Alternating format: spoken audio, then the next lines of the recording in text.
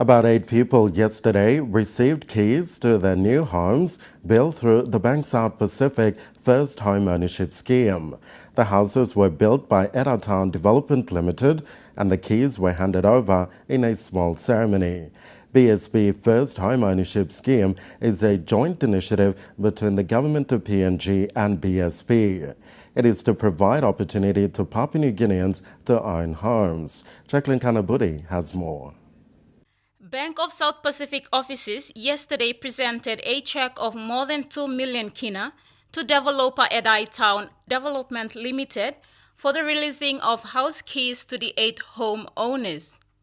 The eight BSP customers are fortunate to have their own homes now, since many Papua New Guineans are dreaming to own a home but are often reluctant and put it off until later date due to high house prices, interest rates, and repayment terms. Nella Renton, Kingsley Madiu, Colin Ontimo, Jerry Kutz, Lindsay Barry, Elizabeth Ali, Vagi Kulumanek, and Ovia Tarube are the eight people who have realized their dream of home ownership.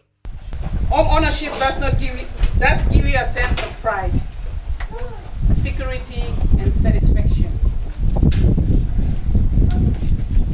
satisfaction of owning a home is truly priceless because your own home is a place to raise your family and importantly, it can be passed down to provide security for your children.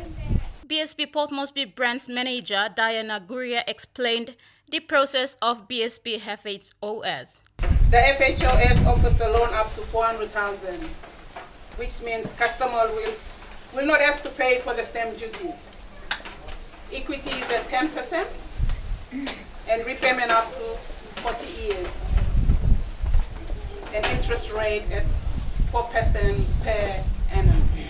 BSP First Home Ownership Scheme provides access to all Papua New Guineans to flexible and affordable financial arrangements to enable them to own their own homes. Jacqueline Kanabudi, NBC National News, Port Moresby.